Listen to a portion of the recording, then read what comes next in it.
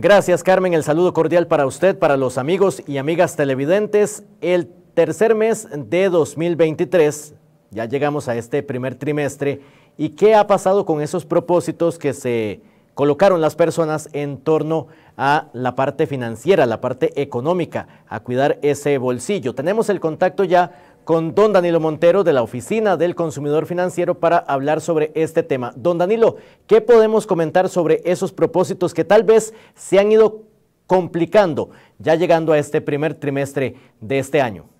Eh, muy buenas tardes, Johan, y a todos los que nos siguen. Eh, sí, por eso la oficina insiste un poquito de que uno, los eh, planes, esos propósitos que mencionas, uno tiene que estarlos revisando pero con mucho más frecuencia, ¿verdad? Porque si no, el cerebro, como muchas veces hemos mencionado, nos juega una mala pasada. Entonces uno se va haciendo como el, el, el ruso, ¿verdad? Que dicen. Y eh, yo me he propuesto hacer más ahorro, he pensado bajar la deuda, y, pero me voy haciendo y siempre encuentro alguna excusa. Entonces, lo que estamos llamando la atención es que eh, uno por lo menos trimestralmente debiera revisar cómo va el curso de, de de trabajo, si me había propuesto hacer algún ahorro, eh, bueno, ¿cuánto he avanzado? Eh, me había propuesto, no sé, 50 mil colones de, ahorro en este año y no llevo ni 2 mil pesos. ¿Por qué? ¿Qué ha incidido? Me, ¿Se me reportaron los ingresos? Podría ser. Eh, hay unos gastillos que yo no tenía previstos y que pude haberlos evitado. Bueno, ¿cómo hago para compensarlos en el próximo trimestre? Hacer estos cortes, hacer estos, estas metas volantes es sumamente importante. Si estamos realmente convencidos en que queremos cumplir esos propósitos, hay que mantener esas metas volantes porque si no, nos llegamos a noviembre y nos damos cuenta de que eh, perdimos la carrera. Don Danilo, y cuando las personas eh, se ponen propósitos en cuanto a la parte financiera, pero surgen de camino los imprevistos, ¿cómo enfrentar ese tema?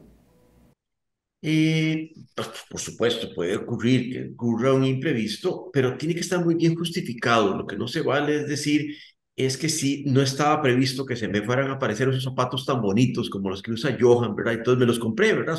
No, no, eso no es un imprevisto, ¿verdad? Este, simplemente quise eh, eh, justificarme. La, si existe convicción de la persona de que quiere alcanzar una cierta meta, un cierto objetivo, lo logra y, eso y para eso le ayuda a estar haciendo estos cortes intermedios. Si obviamente el imprevisto fue una enfermedad, un examen médico para uno o para alguien de la familia, pues bueno, uno dirá, sí me sacó un poquito de lo que tenía previsto, pero voy a proponerme que el próximo mes lo repongo. Y hay una convicción de que lo voy a hacer. Eh, si eso es así, no hay ningún problema. O sea, no, no, nos vamos a, a, amarrar a, a, una piedra de molino. Pero sí tenemos que estar como conscientes de que no cumplimos la meta y la quiero recuperar.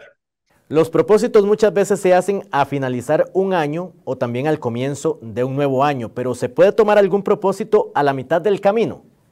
Sin duda, sin duda, y, posiblemente cualquier momento es bueno, ¿verdad? Si, si yo no me propuse al final de año, inicio de año, hacer un ahorro, pero lo hago con motivo de esta conversación, fabuloso, excelente. Es el propósito de Semana Santa, si queremos llamarlo, o el propósito de Cuaresma, ¿verdad? O el propósito de medio año, no importa cuándo, pero lo importante que exista un propósito y exista la voluntad de cumplirlo. Perfecto, gracias a don Danilo Montero que siempre conversa con nosotros cada semana, hoy tocando el tema de esos propósitos financieros que son importantes en cualquier parte del año. Hacemos pausa comercial a esta hora y ya volvemos con más noticias.